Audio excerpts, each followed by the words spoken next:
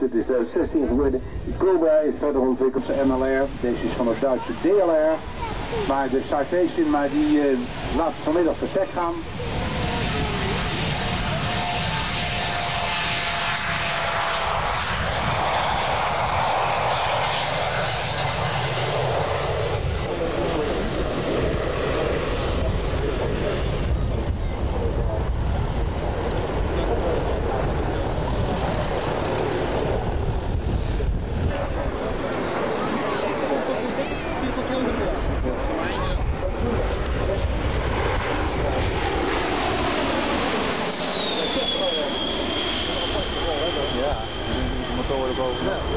Schiltermarkt, onder andere van de vrij stille Fokker F28.